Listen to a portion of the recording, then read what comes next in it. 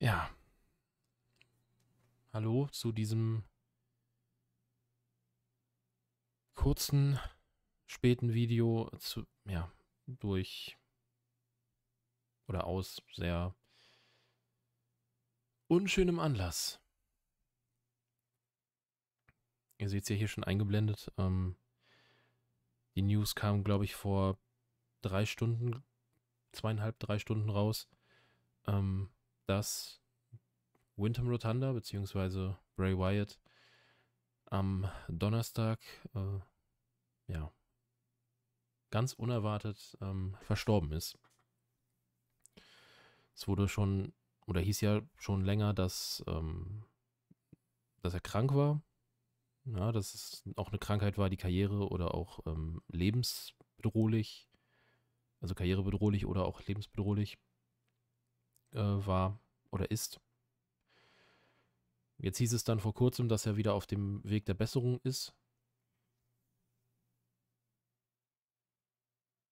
Und dass ja auch im September, glaube ich, schon äh, angedeutet werden sollte, dass da ein Comeback kommt. Und jetzt kommt die Nachricht hier und reißt einem so ein bisschen den Boden unter den Füßen weg.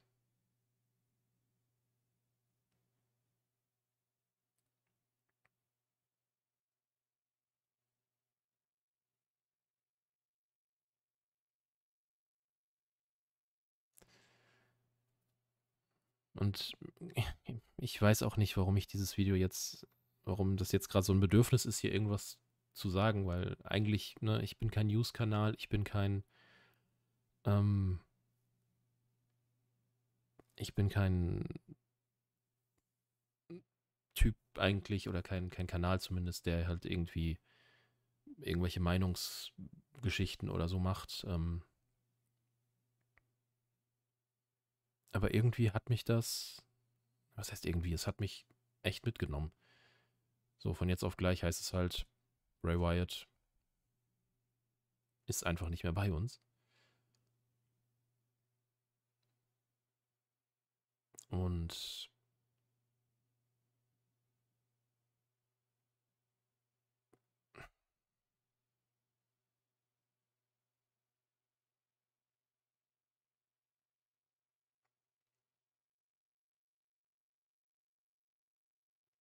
Ich weiß auch nicht, wie ich den Schwenk machen soll zu, zu dem, was eigentlich dann noch Thema ist.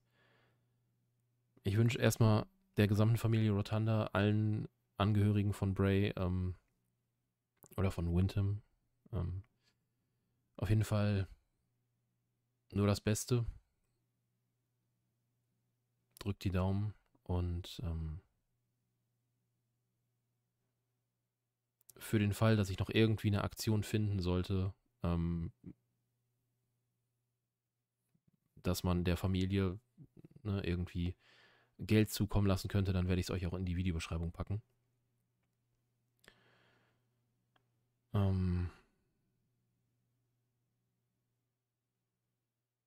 habe jetzt unter anderem bei Sean Ross Sepp gesehen, dass da einiges ankam und er meinte auch, er wird es, also von Fightful Select, und er wird es dann auch weiter äh, weiterleiten an die Familie. Von daher, vielleicht wird auch irgendwas eingerichtet sein. Ich schaue mich auf jeden Fall nochmal um. Und falls ich da was finde, gerne, ne, packe ich es dann in die Videobeschreibung oder wenn ihr was findet, gerne in die Kommentare. Jetzt ist. Jetzt fühlt es sich natürlich trotzdem ein bisschen. ein bisschen schäbig an, dass ich aber irgendwie noch meine meine Thematik bringen muss oder will, ähm, dass Bray Wyatt damit natürlich auch in ähm, aktuell laufenden Videoprojekten nicht mehr auftauchen wird. Ich habe das ja schon seit Jahren gesagt, dass verstorbene Wrestler bei mir ähm, aus Respekt einfach nicht mehr in den Ring gestellt werden. Das bedeutet, Bray wird dann jetzt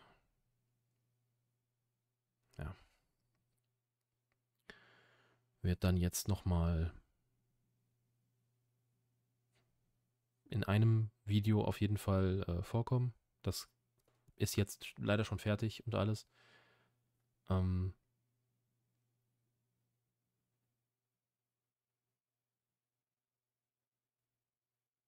aber wir werden, oder ich werde mal irgendwie schauen, dass ich was auf die Beine stellen kann, um, um Ray nochmal Gebühren zu verabschieden.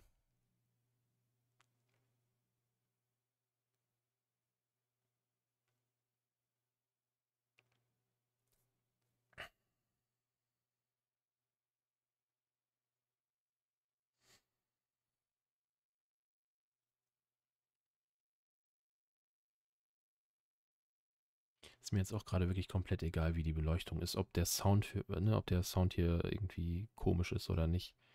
Es geht jetzt einfach gleich so auf YouTube hoch und dann. Irgendwie muss ich mir das gerade von der Seele reden. Also so alles, ne? Also nicht unbedingt alles, was mir da durch den Kopf geht, weil hm, sitze ich wahrscheinlich morgen früh noch hier. Aber ja, zumindest ähm, eben diese Sachen.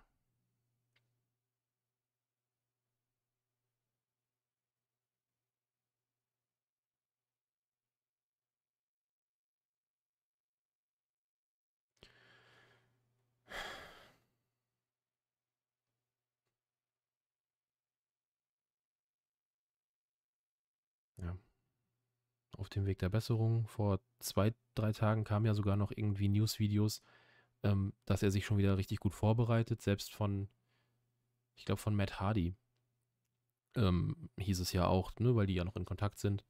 Scheinbar ähm, hieß es, dass alles super läuft, alles gut aussieht. Und ja, jetzt sitzt selbst Matt Hardy da und ist halt komplett schockiert, weil das sowas von aus dem Nichts kommt. Ähm, ja, wir werden auf jeden Fall in den nächsten Wochen was erfahren.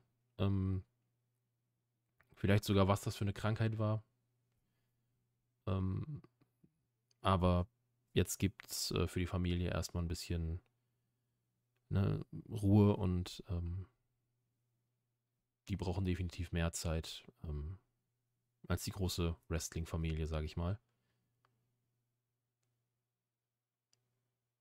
Triple H hatte es ja in seinem Tweet auch geschrieben, dass, ähm, dass man da wirklich die Privatsphäre der Familie wahren soll. Also keine Anfragen, Stürme oder so an, äh, an IRS, an Bo, an, an Jojo oder auch sonst wen ähm, raushauen soll.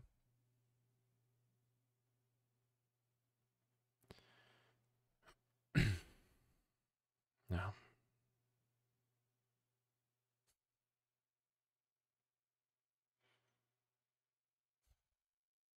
Ja, und an der Stelle möchte ich dann einfach nur sagen, so.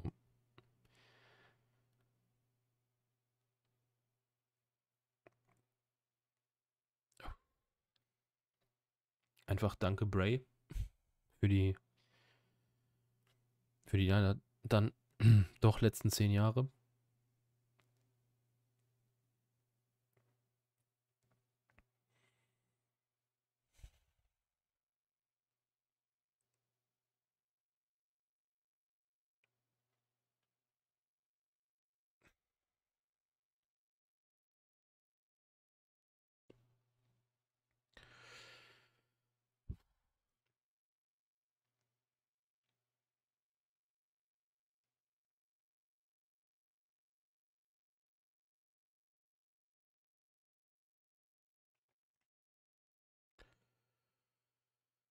Uh. Also wirklich, sei es der, keine Ahnung, sei es der Run mit der Wyatt Family, sei es Eater of Worlds, äh, das Tag Team mit Matt Hardy, ähm, der Fiend.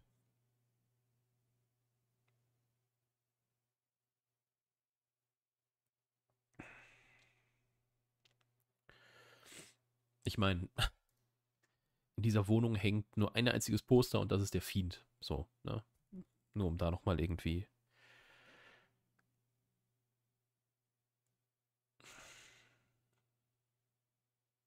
Dieser Mann steht definitiv in den Top 3 meiner, meiner All-Time Favorites. Und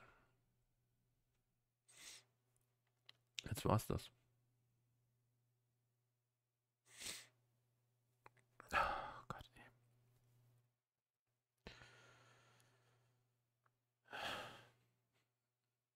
Ich wollte genau, dass das nicht passiert, aber gut.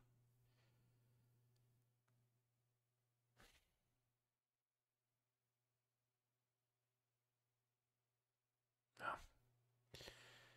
Also wirklich danke Bray für die zehn Jahre, die es dann jetzt dann doch waren.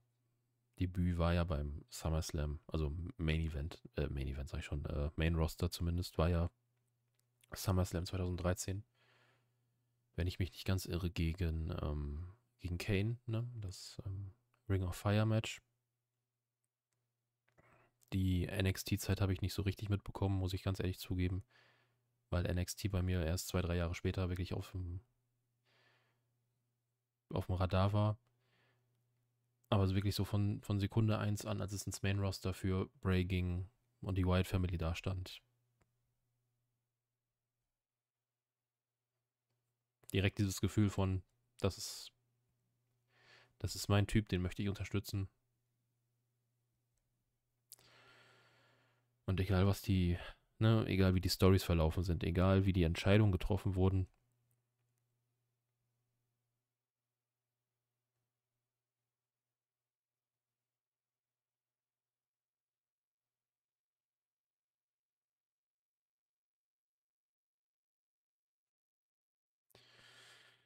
Ja.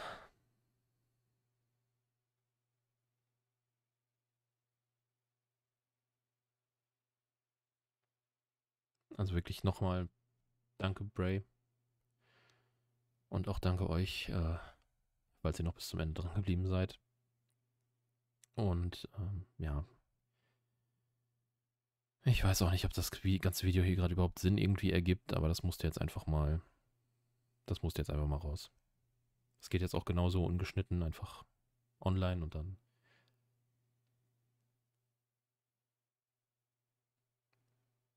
Dann geht das Leben weiter.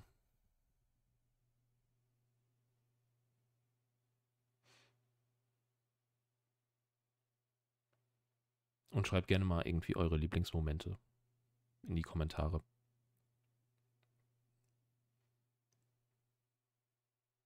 so aus den letzten zehn Jahren oder wenn ihr noch NXT mitverfolgt habt, noch gerne aus den letzten elf, zwölf Jahren.